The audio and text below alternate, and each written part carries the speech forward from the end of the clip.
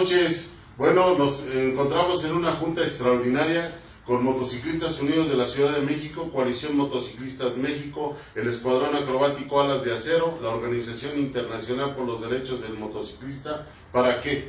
Porque tenemos una inconformidad en contra del diputado Guillermo Lerdo de Tejada, ya que está proponiendo eh, una iniciativa con proyecto de decreto para la reforma y adicionar a la ley de movilidad en materia de regulación del uso de la motocicleta, que reformará y adicionará la ley de movilidad para el fortalecimiento de las condiciones de seguridad vial. Él propone ponernos un número en el casco de la placa y usar un chaleco igual con número de placa. Déjeme decirle que esto no ha funcionado en ningún país donde se lo ha propuesto y aquí en México ya hemos trabajado con ese asunto en legislaturas pasadas, se trabajó en Jalisco, se trabajó en Veracruz y en algunos otros estados donde lo hemos hecho para abajo. Y el motociclista organizado tiene los fundamentos para poderle echar para abajo esa petición que usted hace. Entonces, ¿qué opinan ustedes muchachos? No, no, no, no nos vamos a dejar. Estamos en contra. Sí, no, no, no, no, no pueden violar nuestros derechos humanos. Así es que le pedimos una cita antes de hacer movimientos más fuertes. Queremos establecer primero el diálogo, como se ha hecho